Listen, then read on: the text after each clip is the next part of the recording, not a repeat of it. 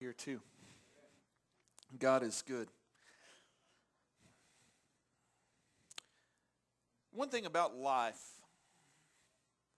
that I have found to be true over and over and over again many times. Life hurts.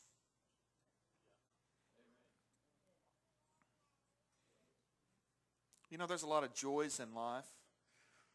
But the truth is, life hurts. You know, there's two kinds of people in life. Victims and victors. Those that walk through the same situation and you think that they would respond the same, but they don't. Life hurts. It can be a big ball of hurt to rip you from the shell of the self that you actually are. Sometimes it's just little things that hurt. Sometimes it's words of jest. Have you ever had somebody joke with you and they went a little too far in the joke and it hurt and you, it just kind of settled, it didn't sit right with you and you, you took that to heart when really that wasn't their intentions.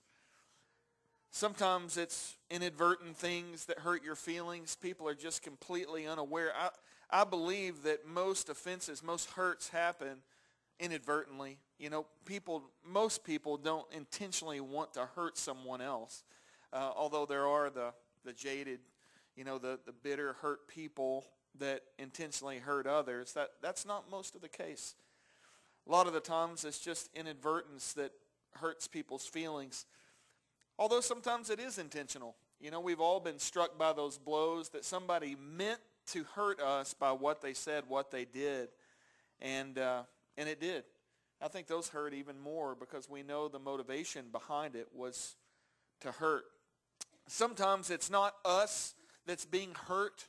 Sometimes it's somebody that we love that has been offended or hurt and we take on that offense for them by proxy, man, and it just, I, you know, it, you can see that the most with kids. When your kids get hurt, it hurts you to a new different level than it does if it's you getting hurt, you know. And I feel that way about my wife, too. You know, I can take a lot of stuff, but what, there's nothing to say bad about Jen. But if it hits Jen or Trey, man, it just hurts me to a brand new level. Literally every single day, there are opportunities to be hurt and offended. Man, and it happens in life so frequently. But there's two kinds of people in life. There's those that deal with it correctly and they become the victors, or there's those that become victims.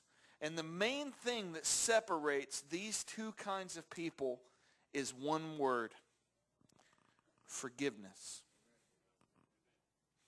One word can separate you. It can actually separate you and distinguish your trajectory in life.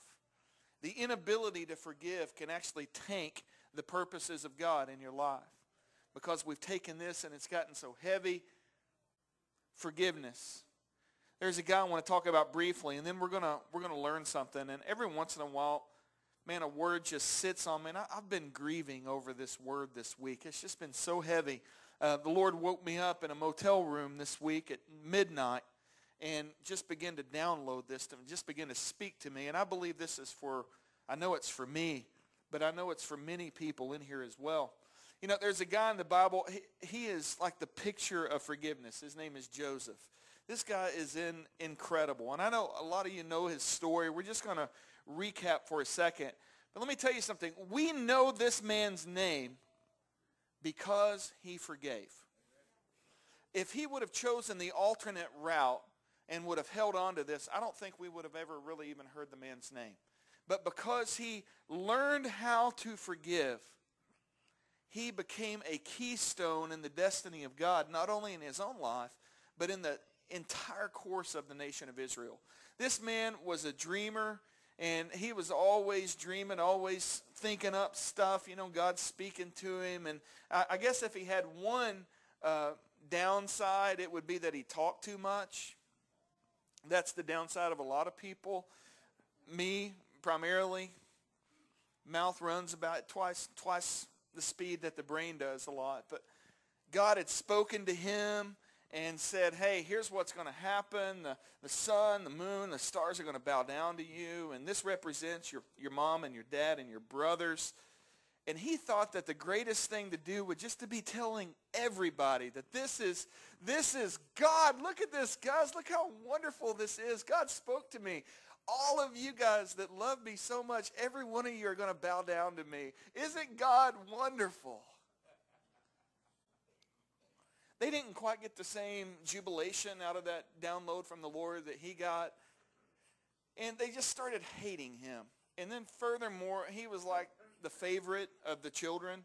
You know, Daddy was always buying him presents that nobody else got. He got this coat of many colors that was beautiful. And his brothers just started absolutely hating his guts. Anybody have a sibling? Well, don't admit that. Never mind. I have a great sibling. Hallelujah. But let me tell you the path that this took, man. These brothers, they hated him. They took him and concocted a scheme. He must have really been shooting off at the mouth because he was talking so much that it led them to think, let's kill this guy and get rid of him. You got to really hate a brother to do something like that. But that was their scheme. So they did. And they took him and they, they threw him in a pit. and they took that coat that had become the symbol of the father's love and they, they covered it with like blood and they went and told dad, hey, Joseph's dead. Just get over it. You got us. Man, how much do you have to hate a sibling to throw them in a pit and tell everybody else that they died? You know, there's times in life that we want to do that with the Lord. Say, hey, Lord, they just, they just passed on, you know. I took care of them. And then one guy, one of his brothers said, we're not going to let this happen. And he got this scheme. Let, let's take money for him. So it didn't just stop in this pit.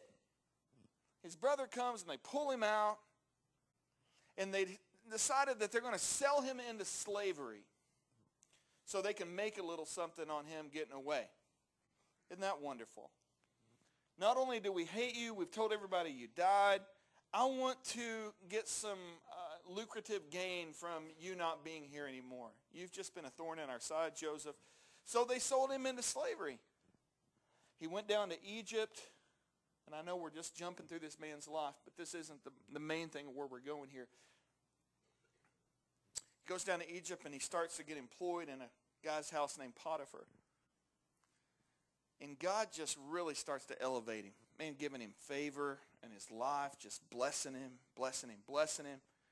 But the problem was Potiphar's wife had, had it out for him in a good way, or in a bad way.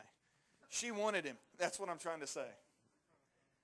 Tried to get him to be with her, and she's like, he's like, I'm not going to do that to my master. This is not integrity. That's not what a man of God does. Forget it. I don't want no part of that. And he's working one day, and it's just him and her alone in the house. Guys, don't ever do that. That's, that's a mistake. Uh, that, that's, this is free of charge for a new generation. Don't, don't be alone with somebody of the opposite sex that's not your wife. Is that wisdom? Okay, I, I think that's wisdom. So they did that, and he was cleaning and doing his chores, and she tries to get him to lay with her. And he's like, I'm not going to have a part of that. So she rips his coat off. And Joseph did the wisest thing in his life. He ran away. Man, that's smart. Sometimes you can't beat the devil and all the temptations of the devil in your flesh. The best thing you can do is just run and get away. See, a lot of times we, oh, I'm strong enough to handle this. Run. So he ran. And he left his coat behind. What, man, the coats keep getting this guy in trouble. So she tells her husband, this man tried to rape me, and I wasn't going to be a part of this, and he has him thrown in prison. Now, isn't this wonderful? This man who had nothing but a dream gets thrown in a pit, told he's dead, sold into slavery, lied about, and now he's in prison. Isn't, aren't you thankful that the joy of the Lord is your strength? Here he is, just life has hurt him. over and over and over and over again. Let me tell you something. In that prison, he had a decision to make. I can be mad the rest of my life because this isn't fair. And we all have those things that we think, this, this is not fair. This should not be happening. Or we can just pick ourselves up by the bootstraps and say, you know what? I'm going to keep on trucking.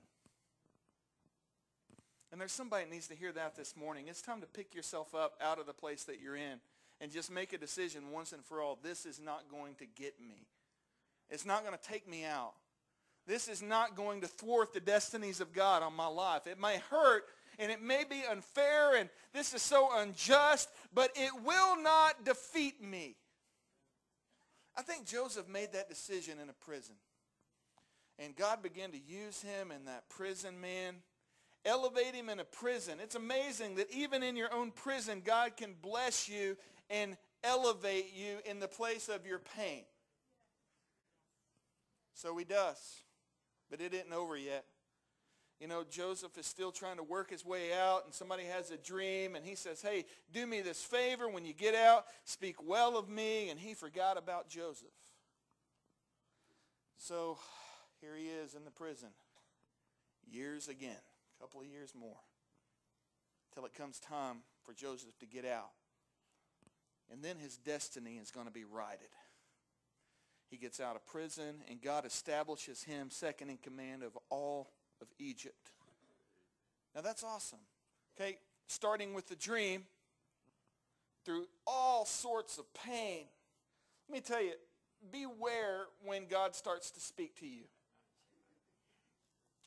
Because our first modus operandi is when God speaks something good on us, we start seeing like the yellow brick road laid out in front of us with munchkins everywhere, just follow the yellow brick road. You know, it's just awesome. This is going to be a great journey. It's going to be so wonderful. Follow the, follow the, follow the, follow. No, sorry. It's just going to be so absolutely glorious. God has spoken. Look at this yellow brick road. God has laid it out before me. It's going to be so wonderful. And then all of a sudden, hurt, trial, pain, life happens. And all of a sudden we start forgetting about what God spoke to us. But Joseph didn't let him take, let, didn't let that take him out. Okay, that's just the beginning of the story. Because what happens is as he's elevated in this place, God speaks. And he says there's going to be seven years of famine. There's going to be seven years of feast, followed by seven years of famine. So God gives Joseph this plan and says, here's what's going to happen during these years of increase, start to stack up things in silos and barns. I don't know if they had silos, but they, they did in this sermon. They have storehouses and they start stacking it up. That way it will provide for you during the season of famine. Like, okay, God, God provides. So he speaks. And little did he know that that one act of obedience was going to bring that offense straight back up in his face. So this famine hit hard. You know, you think, uh, I mean, it's hot outside now. I imagine it's heat. It's just pestilence, man. Nothing's growing. There's no food. Back home where his brothers were. And all of a sudden they start to hear that, hey, there's, there's silos full of food down in Egypt. Go down there, boys, and get us some food because I'm hungry. That's where that word came from. You didn't know that. Just a brief exegetical study of, of Genesis will show you that's the origin of that word. So they go down there, his brothers, and they come into the court, and it's Joseph presiding over the court. Now let's stop here for a second. You're Joseph, who has been picked on, abused, made fun of, despised, attempted murder, lied about, sold into slavery. And the last time you saw your brothers, they were padding their wallets with money that they made off of you being sold into slavery. And now they're in your palace asking you for something. Okay, let's stop super spiritualizing this for a moment and put yourself on the throne right at that moment when the person that jabbed you, that hurt you, that tried to kill you, that despised you, is now asking you for something. What would you do?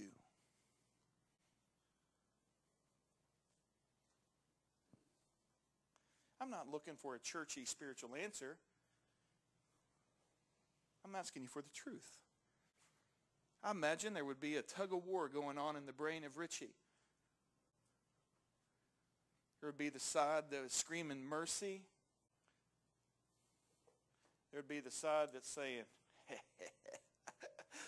oh yeah, this is going to be good. But Joseph had made a decision a long time ago to forgive. How can you forgive someone of such a ludicrous, hurtful, shameful act that they did to him? But we know the story. If you don't read, man, it's awesome. In the last part of Genesis, in chapter 45, just going to read a few verses. It says, Then Joseph, who could not control himself, by all those who stood by him, he cried, Make everybody go out from me. So no one stayed with him while Joseph made himself known to his brothers. And he wept aloud so that the Egyptians heard it. And the household of Pharaoh heard it. And Joseph said to his brothers, I am Joseph. Is my father still alive? And his brothers could not answer him because they were dismayed at his presence. That means scared to death. So Joseph said to his brothers, listen at these five words. Come near to me, please. Come near to me. Now that wasn't words that they were expecting to hear when they saw that it was Joseph. And they came near and he said, I'm your brother Joseph who you sold into slavery in Egypt. Shame on you. He didn't say shame on you. Now, do not be distressed and don't even be angry with yourself because you sold me here. Because God sent me here to preserve your life. My goodness gracious. I mean, all things work together for the good of those that love the Lord and are called according to his purpose. We give the devil too much credit. The only way he can defeat the purposes of God on our life is if we submit ourselves to him and follow his path on our life. That's it. He doesn't have that kind of control over your life without our agreement with him. And here he is in front of his brothers, and he said, hey, guys, come near. I don't care what you've done.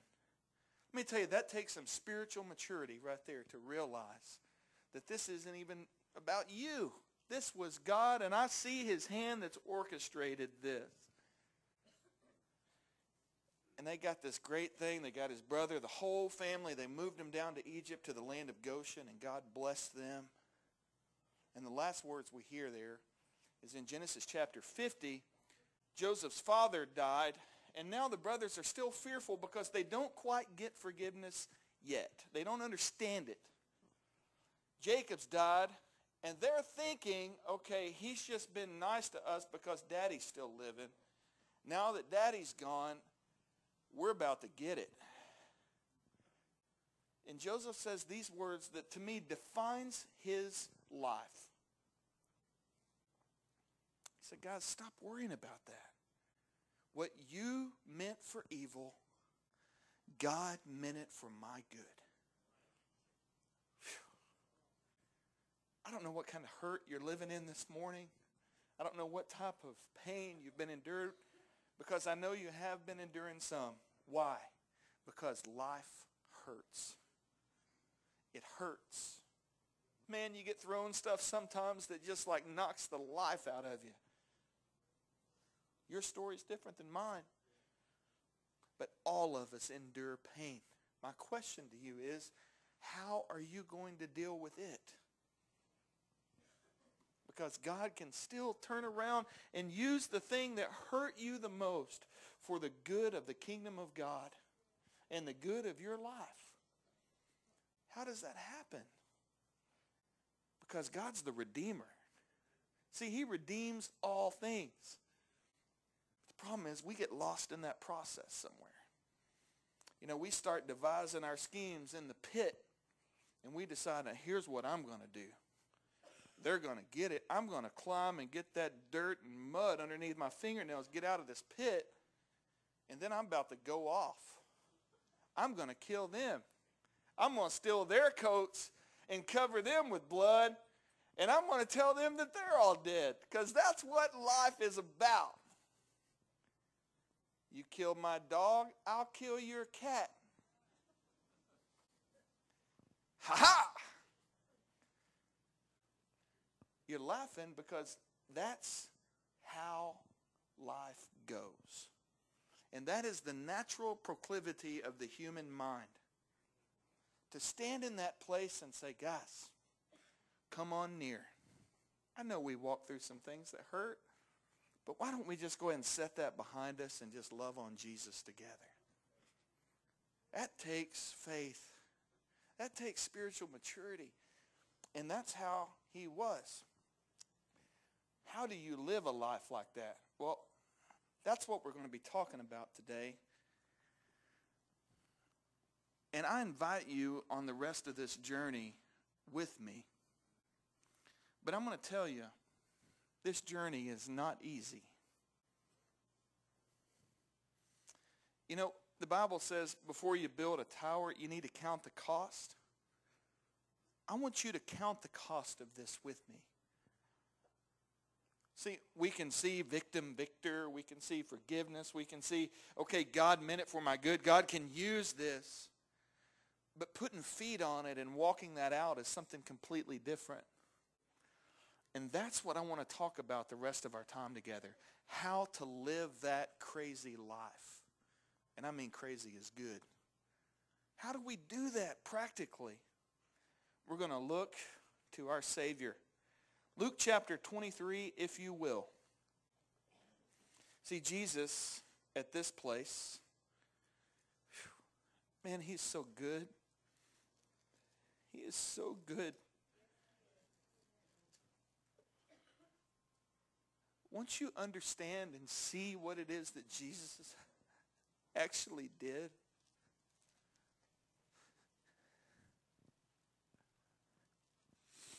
man, religion falls by the wayside. Questions fall by the wayside when you feel love like that. Jesus arrested after living this innocent, perfect life. His only crime, quote, crime, was claiming equality with God, claiming to be the Son of God, and it ticked the Pharisees off something fierce. Blasphemer. They hated him. Man, they arrested him. They mistreated him. They convicted him and sentenced him to die. They took him and they beat him within an inch of his life. They mocked him and they put a crown of thorns on his head and a purple robe, mocking him in jest, taunting him as they smacked him. All right, you're the Son of God. Tell me what my name is. Tell me who hit you as they beat him time and time and time again. Broken, empty, bloodied. But that wasn't it. They marched him to a hill and they made him carry the cross that they were going to crucify him on. See, that's not our method of execution today, but just, just for sake here, I mean, imagine somebody already condemned to die on death row, and they're walking, walking a mile, walking a green mile. They're going to the chair, and as they go to the chair, They're forced to have to carry the electric chair that's going to kill them. How brutally torturous is that? And they get him on that hill. Somebody had to help him carry it because he was almost already dead.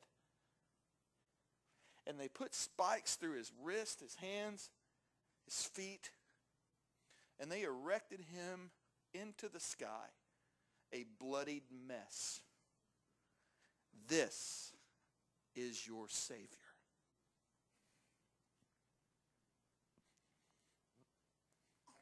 Don't come to me telling me what hurt you because it doesn't compare to that. It's amazing the things that we let get on the inside of our hearts. And I'm talking about me. Man, it affects us. I just can't get over it. Every time that I start to think that I'm going to hold on to this, I get that picture in my face. And I realize that's who I'm following. This isn't about me. And as he's erected, bloodied and broken on a hill, being mocked,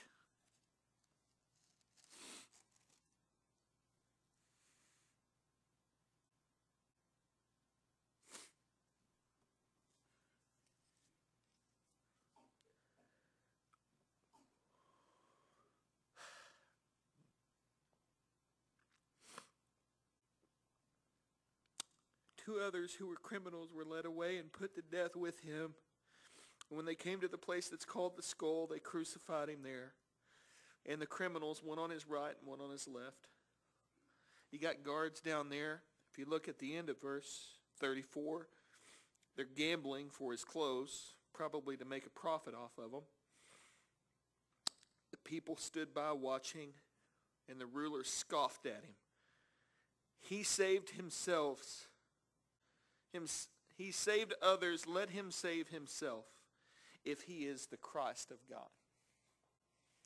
You ever kick a man while he's down?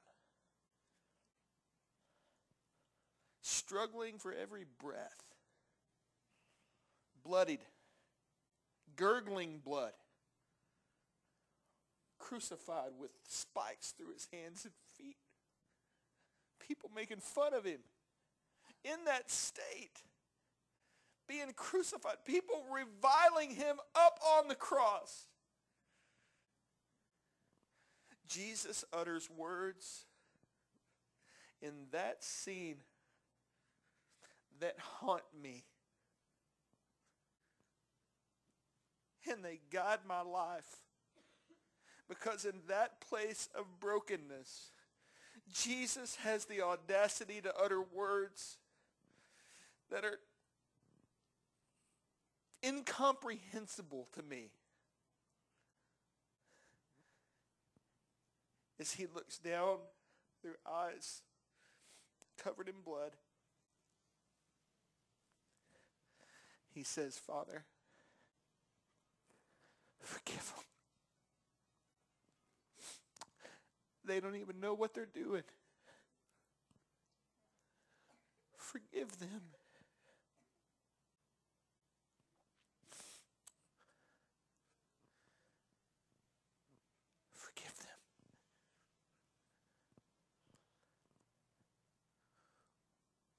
Holding on to so tightly, church? That image haunts me. It pushes me to be better than I am. Forgive them. They don't know what they're doing. There's several things encapsulated in that phrase that I want to talk about the rest of our time together. Aspects of forgiveness. If we're going to live that kind of life, the first thing is this. It has to be immediate. If you're going to live a life like that, forgiveness has to come immediately. I don't mean time needs to pass. That's one of the biggest lies that has ever been propagated on the world. I just need some time. No, time's not going to help that. It has to be immediate. When we moved in our old house, uh, first house we bought, there was this beautiful little flower garden that we destroyed in a matter of months. It was had ivy around the outside, and there was these beautiful flowers that, anyway, they're gone. They're memories of yesterday. And I thought that ivy was, always thought ivy was so pretty. Remember the first spring? It was about 10 foot from our house. That ivy through the winter and spring had gone from the flower garden and had started growing towards our house. And I thought, man, that is so pretty. That ivy is just beautiful. I love it. Looks like an English garden. I mean, it's gorgeous. And I let it go. Year two comes. It hits the base of the house. I thought, wow, you know what? My house is going to look like Wrigley Field. and I'm not even a Cub fan. Sorry. I thought we were in Cardinal country. I was. We lived in that house for 13 years. And I remember the summer before we moved out. I decided to do something about that ivy. Because I realized what had happened. Let me tell you what this ivy did. That plant is so small, but that is one of the most satanic, devilish plants.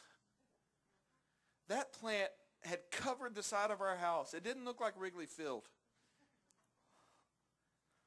It had torn off the soffit and fascia of the house had grown in the attic.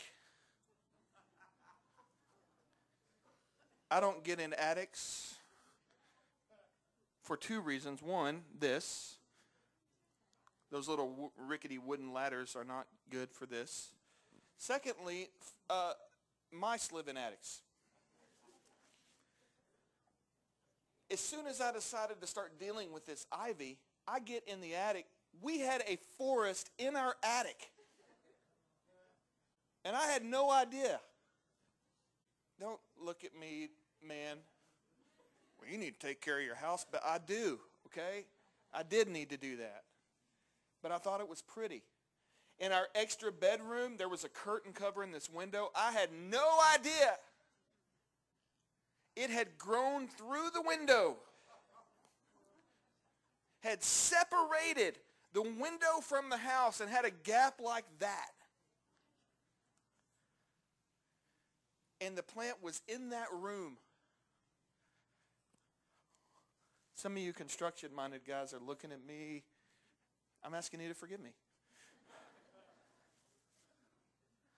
What is the deal with that? Something that started out so small has become such a massive problem. Do you know how long it took me to deal with that ivy? Well, we sold the house, if that tells you anything.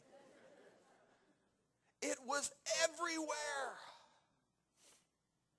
if summer number one, I would have come along and just kind of cut that off,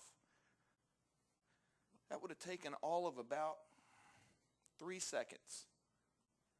But at summer number 13, it became a week-long project of me ripping this thing off. Had to get the house repaired because it had destroyed the integrity of my house. Such a small thing. So it is with forgiveness. If you don't deal with it right then and there, it's like that ivy and it starts growing.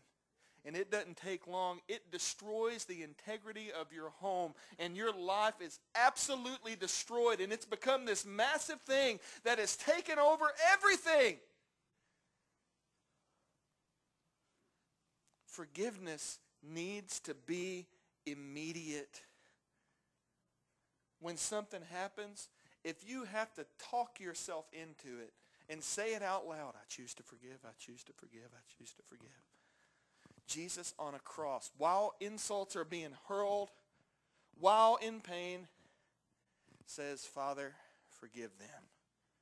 He doesn't say, ah, God, I know this crucifixion thing's from you. I'm just going to need a little time. That hurt my feelings. I'm just going to need time. I know it hurts because life hurts. But it has to be immediate. Are you with me this morning? It has to be immediate. Man, Jesus did that so masterfully. And you think, well, that's Jesus. I'm Richie. I deserve a little. No. If you remember, church, that's who we're following. Christianity is a path, a lifelong journey to look like Jesus. He's our goal. He's our leader. He's our Savior. He's our friend. That's who we're following. Second thing, and closely to this as well, about it being immediate, you don't have to wait until you're not hurt anymore. See, that's a lot of things that go with the time. Well, I just need time so I can get over it. No, time's going to fester it. It's going to make it into a bigger thing than it is. I'm telling forgiveness is not ignoring something happened. Forgiveness is staring that hurt in the face and saying, I choose to release this. I'm hurt right now. You know, Father, I'm, I'm struggling for my every breath. The blood is drowning out my lungs. I'm dying here. But I choose to forgive right now. I'm not going to wait until this is over, then come back after the resurrection and say, guys, it's okay. I'm going to let it go right now. See, that's another lie about forgiveness. Guys, just drop it I know you're hurt. I know you're hurt and offended because life is that way. But it takes a conscious choice in the middle of that hurt to say, God, I release it. it has to be immediate. It doesn't have to wait until you're not hurt anymore. Third thing about forgiveness is this, also closely related. This is another big lie about forgiveness. Forgiveness does not require an apology or even remorse as a prerequisite. I'm going to say that again because some of you didn't like that. It doesn't require an apology or even remorse as a prerequisite. See, what we think is, I can forgive them when they're truly sorry. Is that not true? Okay, they've hurt me they're not sorry, so why should I forgive you? See, notice Jesus didn't say, guys, are you sorry for saying that? I really want to forgive you. But you just don't even seem to be sorry you did it. What? What? No. He didn't have to have that. He said, Father, forgive them while they're hurling insults at them, at him. Guys, that's powerful truth right there. If you're now, I'm not saying we shouldn't apologize. We should. If you know you've done something wrong, apologize and make it right. But, but, it's not a prerequisite to forgiveness. I've tried to practice that in my life. You know, I appreciate the I'm sorry's. I don't have to have that because I realize something. Forgiveness is about me. It's not about them. And to choose to hold on to unforgiveness is like building a prison cell around yourself. Like, you know what? They hurt me. This will show them I'm going to be in prison for the next 30 years. That'll really show them. You're killing yourself. Guys, it's just the truth. It's not a prerequisite for forgiveness. And Jesus showed that on the cross. Let me ask you, how many at that point, priests, How many people that had yelled, crucify him? How many people that had smacked him and beaten him? How many of the guards that had driven nails through his hands at that point said, Jesus, I'm sorry. I'm so sorry. You know, I really hate that I did that to you.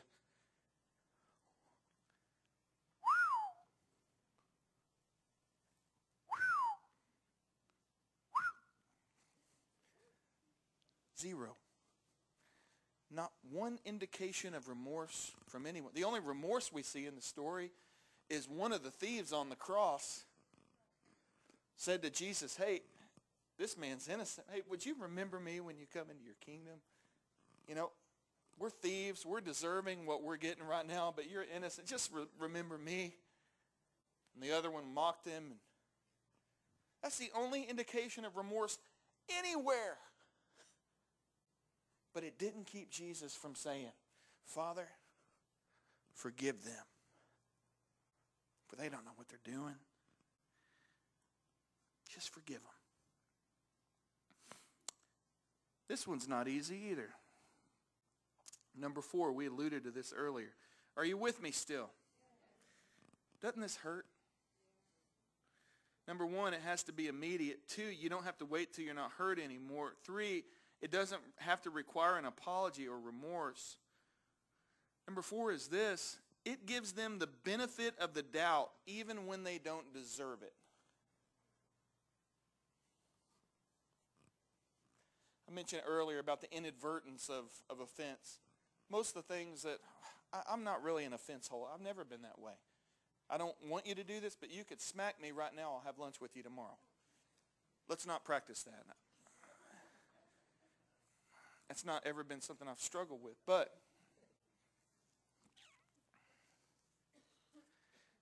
it wasn't just forgive them. Notice the second part of that. They don't know what they're doing. They thought they knew what they were doing. But Jesus says, God, don't hold it against them. They do, they're completely unaware.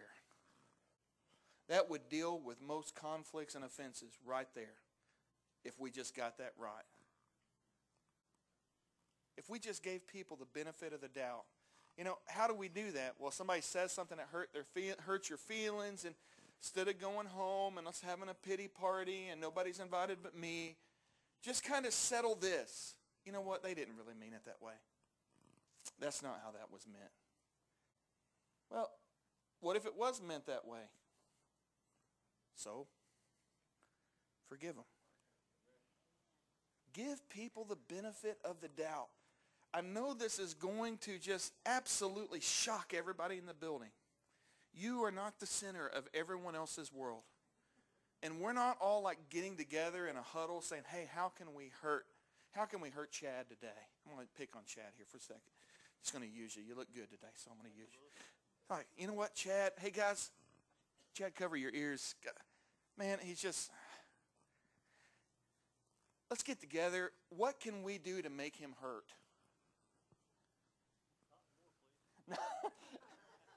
No, that's not how people are. You know, people aren't like getting together trying to make us feel hurt intentionally. Nobody's against us. There is one that's against us. There's one enemy. And Paul said it's not out of flesh and blood. See, our enemy is one. Now, he uses us to be pitted against each other. But, guys, just give people the benefit of the doubt. And when it was advertent and they hurt people, just apologize and get it right. Go back to steps one, two, and three. Number five is this. And this one hurts too. All of this hurts. It hurt. You think it hurts to listen to this? It hurts to be woken up at midnight and get this from God. Like, God, can I sleep now? It never retaliates in kind.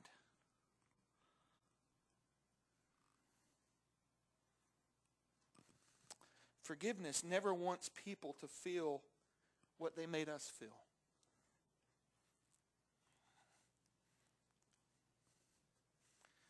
See, that's the big stumbling block to forgiveness with a lot of people because we're hurt, we're dealing with a legitimate hurt, and our end to that is as soon as I see them suffer and hurt, then it's equal. Justice has happened, and now we can be friends. Let me tell you a little thing about justice. Justice came when the blood flowed down that cross. That was justice. That brought justice back into the world. Justice is not exacting revenge on one another and trying to make each other hurt because we're hurt. Paul also says, Vengeance is mine, thus says the Lord.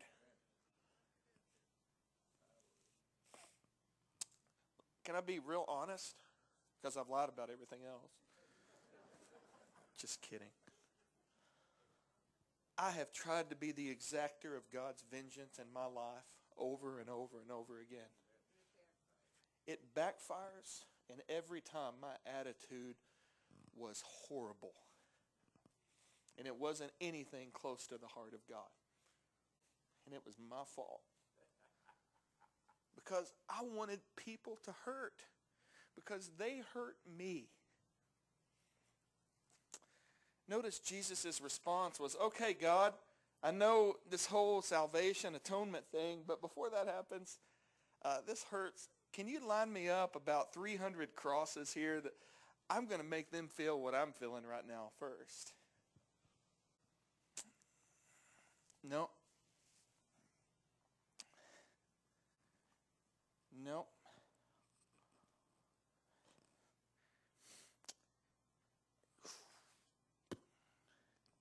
If that one doesn't hurt, this one will.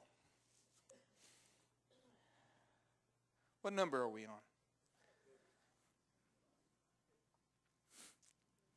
It pleads with the Father on their behalf.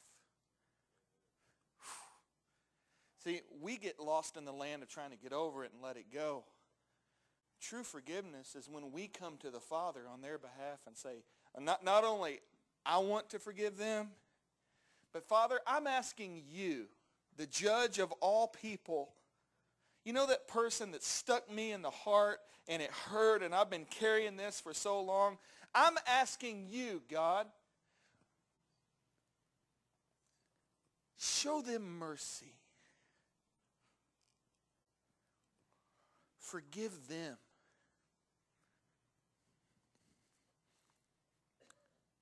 I'll be honest, and you're like me because you're a human being. How much of your prayers, mine's about 99.9% versus 0.1%. That's about that ratio. The 99.9% encapsulates my prayers that's, Father, forgive me. The 0.1% is the Father, it ain't even about me. Release them. Forgive them. Mm.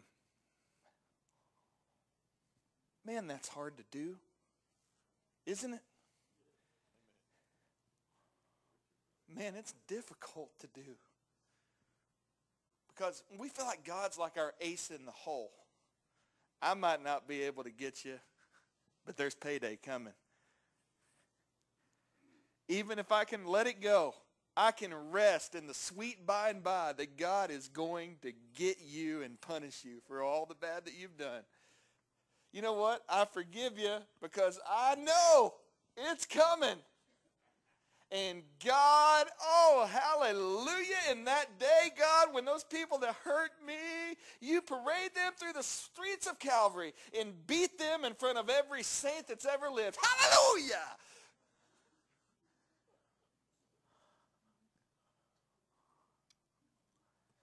May not being a little facetious here, but if you think a little harder, you'll realize I'm telling the truth. Vengeance is the Lord's, and he's the judge, that's right. But you better believe he is the judge, and he's going to get it. See, the true sign of forgiveness is even our posture towards the Father is, Lord, that hurt me so bad. But I love them Lord, and I ask you that you release them, Lord.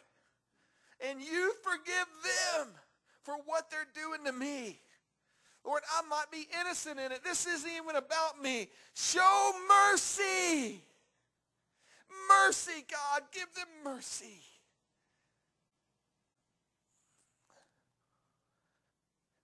I don't like praying those prayers.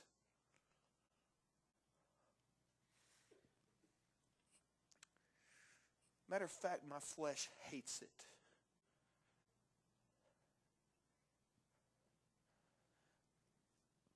But Jesus loves it. Man, he loves it. He loves it when we take that posture. My next step is this. It only comes, that posture can only happen when we choose humility over pride. See, really, pride is the path. It, it's the obstacle of unforgiveness. It's because we're looking at ourself. We make comments like, who do they think they are? Don't they know who I am?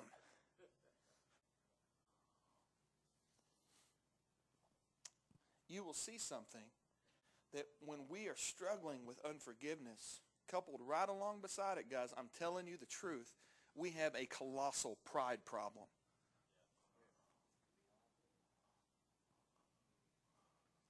If I'm struggling with unforgiveness, I am also struggling with pride. And the only way to get to the path of forgiveness is to humble myself in the sight of the Lord.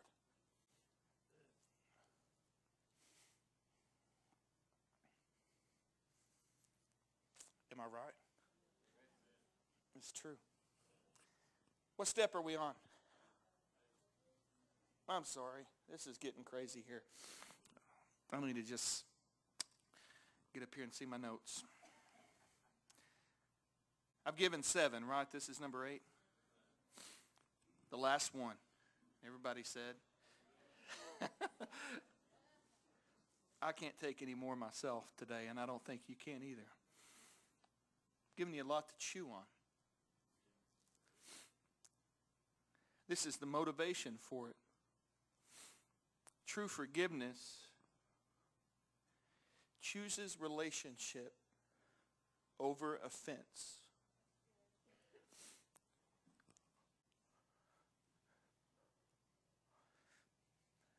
I've never had much in life. I don't have a lot of material possessions. I don't have something that the world would say that's a rich man. The most valuable thing in my life is relationship. It's you. It's people. And I'm not willing to waste a one of you. I love you. If I've ever hurt you in any way, I ask your forgiveness. Because I want to make it right. Because you're valuable to me. See, as Jesus stood up on the cross, he could take all of that because he loved them. And he knew the relationship that would come out of him walking through the pain. And he said, I choose you.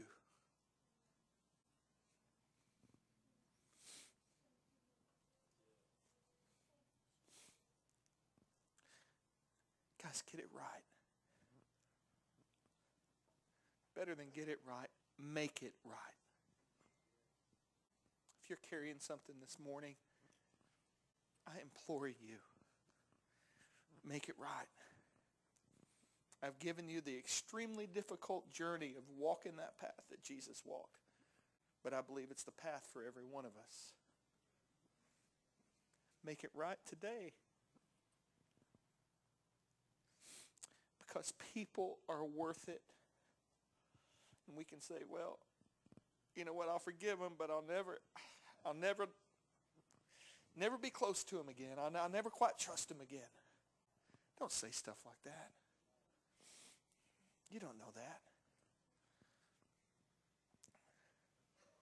That takes the healer out of play.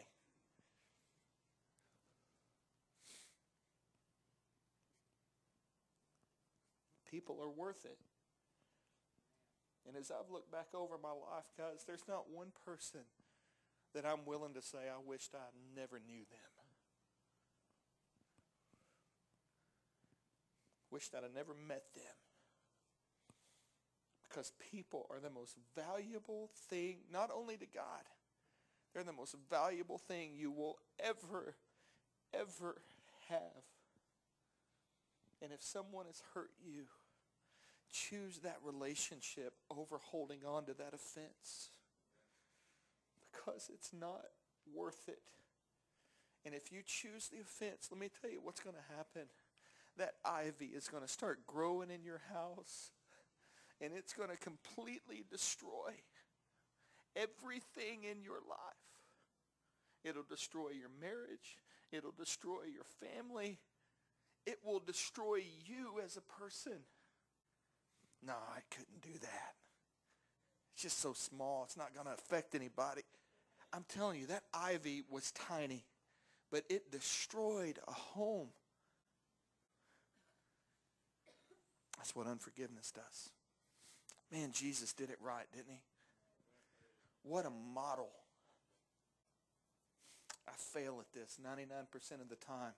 But that's the picture that haunts me in a good way because that's what I want to be. Father, forgive them. For I don't they don't know what they're doing.